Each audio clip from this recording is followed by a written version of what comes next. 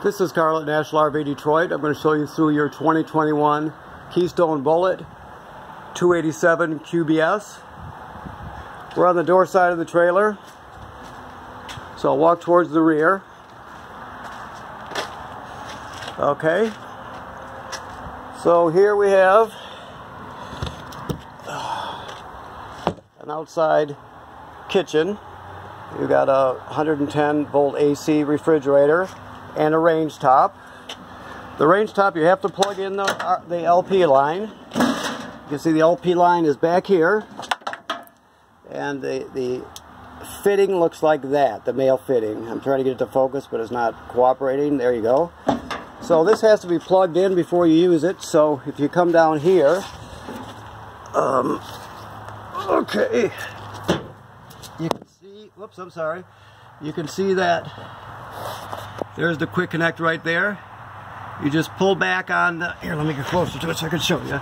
You're basically just to pull back on this, put the male end in there, let it go, and then you turn your gas on this way.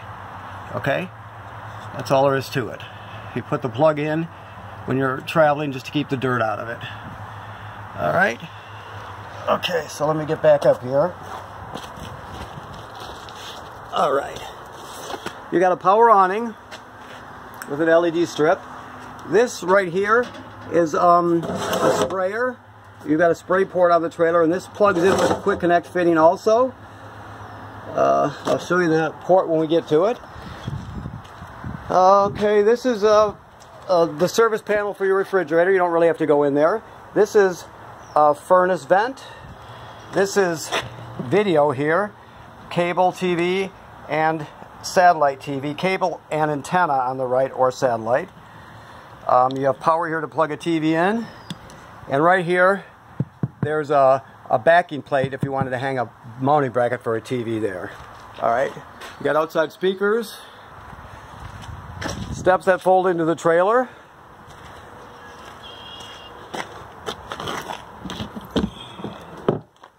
Okay, you got front pass-through storage with a light here. Let me see if I can turn it on here. Okay.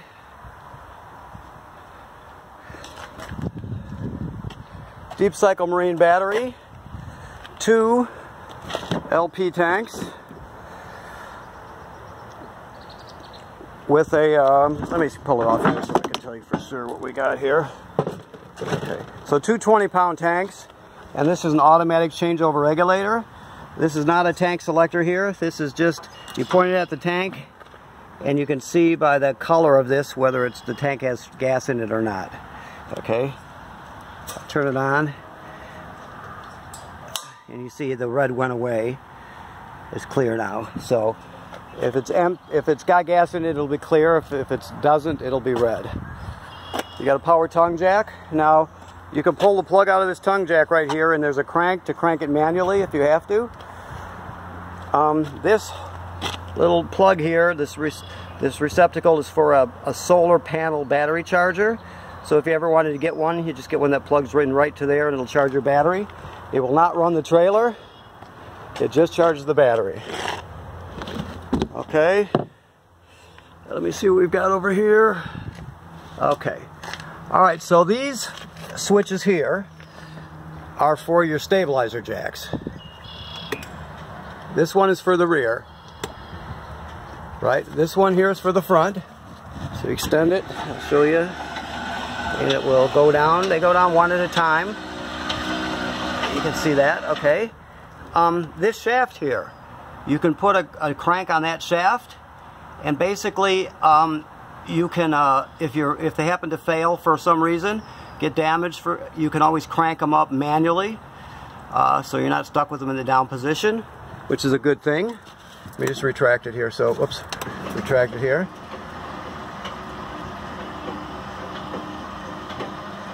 Okay, this is the kill switch for your battery. You can shut it off just by going like that. You can see when I shut it off, the power goes out. Um, we're not plugged in right now, I don't think, even though I uh, I thought we were, but I didn't check. I guess I should have, huh? We're running off battery power right now. Um, so the reason you would want to shut the battery off is because of the, even if you shut all the lights off, the carbon monoxide and LP gas detector are hardwired to the battery. So when you put it in storage, it'll still drain it. So the only time you'll shut the battery off is when you're in storage. All other times you keep it on.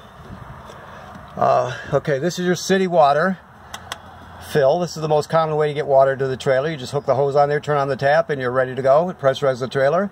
If you go to a campground that doesn't have plumbing on the campsite, uh, you can fill your onboard water tank through here, and there's a pump inside the trailer, an electric pump that'll pump the water, and you can still use the shower and toilet and sink and everything just like you normally would.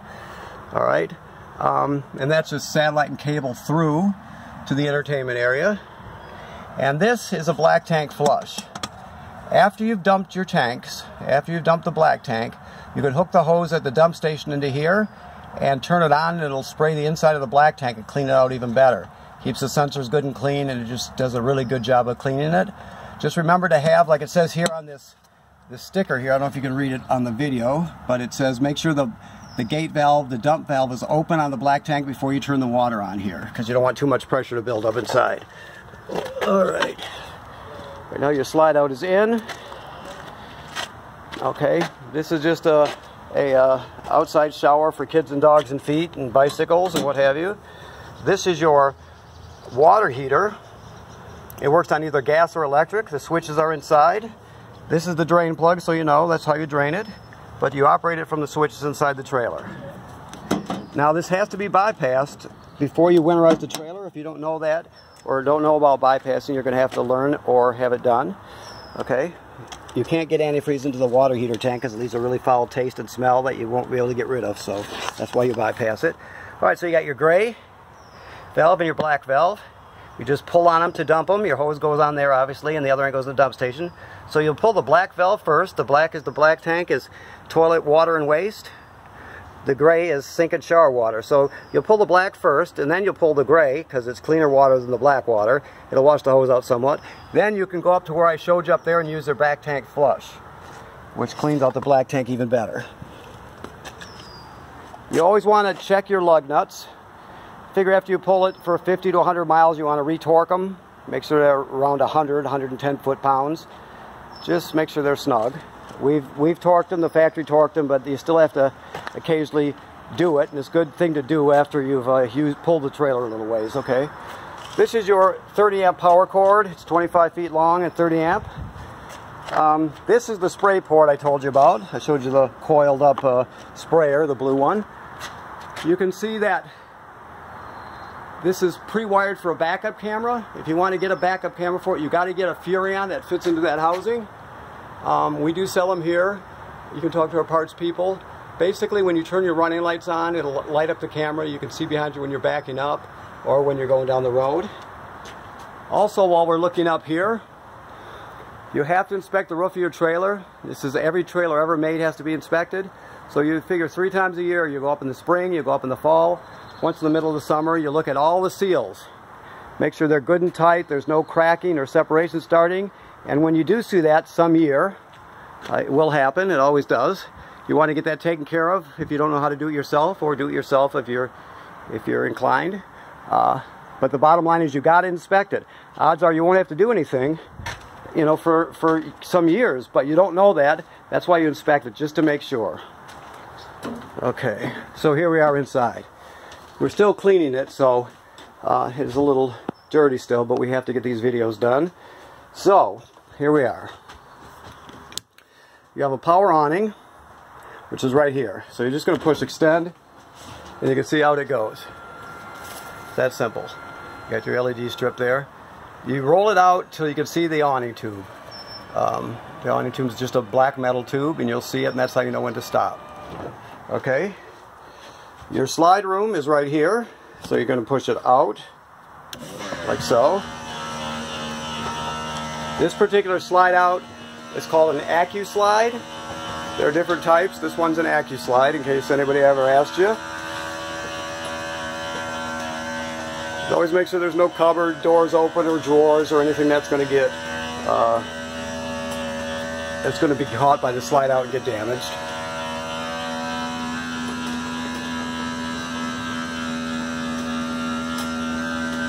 So here we go, right there. All right. Okay, so now we're at the panel here. The battery is being charged right now. Remember I said we're not plugged in. Fresh water, it still has to be dumped, but we've water tested it. So it shows two-thirds full, but it will be empty for you. You can see it graduates up in one-third increments as it fills.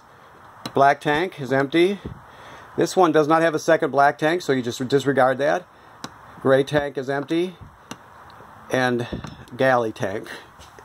Um, your TV has on a swing out bracket. Okay. Uh, can see what else we've got here. I don't want to miss anything. Your radio plays DVDs and CDs. It's um, it can stream off this USB stick. Uh, you can hook up to it uh, wirelessly with Bluetooth, so you can play the MP3s off your phone or whatever. Um, it has two zones, uh, one and two. One is inside, two is outside.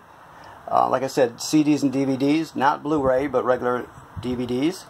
So it, it, it does everything you need for camping. Alright. You have uh, theater seating right here. Your table is in the down position, but you have you can see it's got an apparatus here. You just pull it to the up position and lock into place. If you want to use it for bed, you put it in this position and use the back cushions to fill in the spaces.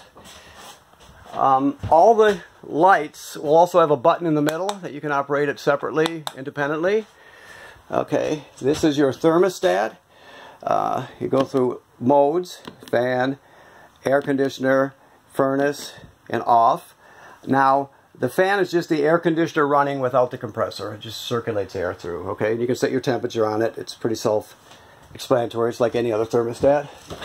You've got a Dometic refrigerator. This is a two-way refrigerator. It works on 110 AC or 12 or, or excuse me, uh, LP gas. You turn it on right here, right? And then right now we're on automatic. Let's see if we can get it to focus here so I can show you.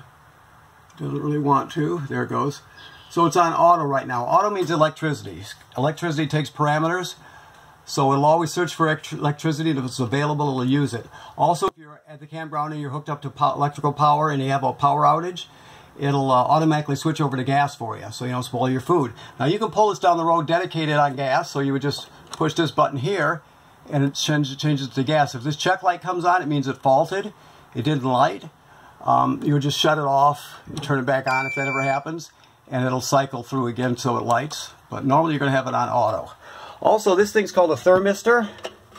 You want to have it up as high as you can get it to get it as cold as you want, can get it. Bring it down, it gets warmer. Generally, you're going to have it up as cold as you can get it. All right?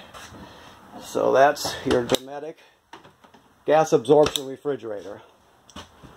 Okay, so your range.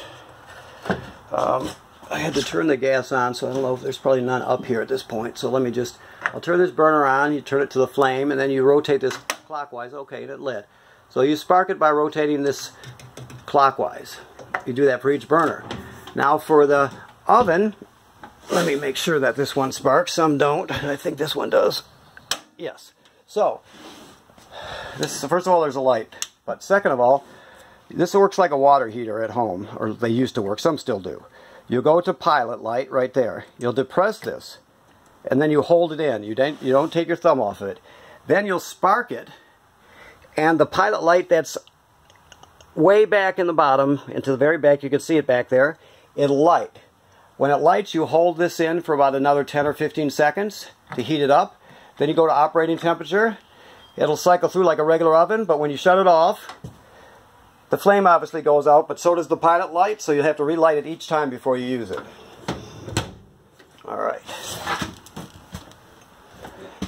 The, uh, I told you about the range hood, or maybe I didn't. That's your range hood and fan and, and light. The microwave works like any other microwave. Nothing unique about it. You have a vent here. The bathroom the shower works like any other shower. Sink works like any other sink. This GFCI, all the plugs will be wired through a GFCI. Um, so if, a, if you're using a coffee pop and it pops outside, you'll reset it at the GFCI CI inside. Okay. Uh, the toilet, um, this, in case you don't know, I don't know your level of experience, so I'll assume you don't, but the black tank is directly below. What you see there is residual water from water testing it. Okay, so, um, when you first get to the campground, you'll you'll you'll plug it in, you'll hook up your water, then you'll come in here and you'll put some chemical in the toilet, whatever chemical you use, powder, liquid, whatever you use. Then you'll step on the pedal and water will come swirling out. And you'll put about a gallon or so, a gallon maybe two tops in there. There's no way to tell it from a monitor panel. You just have to get used to doing it. It's just going to take a little bit of water and some chemical to get started. The bottom line is you don't use it dry. You always start with some chemical and water. All right. Also, when you flush it, it'll only fill about up to here when you after you flush it. That's so it doesn't slot the water doesn't slosh out.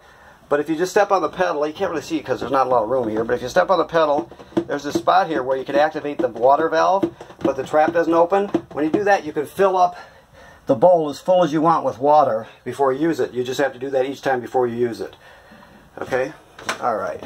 Also, there is a, a vent. Always use the vent with the shower to pull the humidity out. Alright, so we have a bunk room back here. This is the water heater. I just want to show you that the bypass valve on this water heater is right down there. Just so you know, you have to educate yourself on it if you don't know, but that's where it is. It's located under this bench seat. You see they he took the panel off to show you.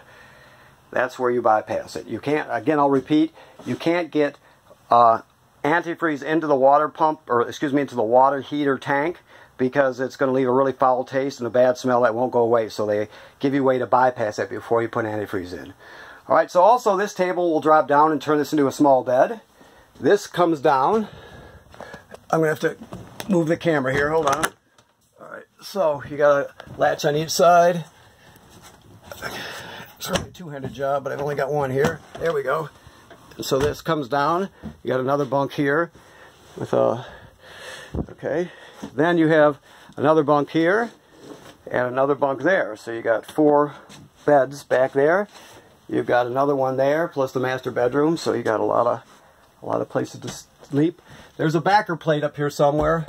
The sticker's not there, but it looks to on this one they might they might set a TV. Well, let me back up. I'm sorry. Set a TV here would probably be more typical, but it's up to you. You could hang a bracket if you like, but you got antenna and power there.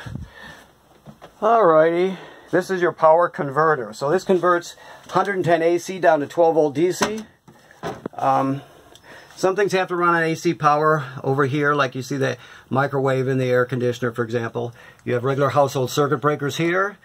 You have automotive fuses here, so it converts, at this point it converts uh, 110 AC down to 12 volt DC, and this is the 12 volt side here. And you can see they're all labeled. If any of these fuses blow, they'll actually light up, and you can see them through this tinted plastic here. Let me just pull that off for you. Right. Okay. Also, this is a battery tender, so it'll sense how much energy your battery needs as long as you're plugged in. And it'll keep your battery charged up front, okay? Which is a good thing. Alright. So, I think we've covered everything. I'm looking around here. I think we've pretty much been through everything. Um, there are manuals for every appliance in here, in your packet. Um, there are um, videos online. Excuse me, I'm thinking while I'm talking to you. There's videos online.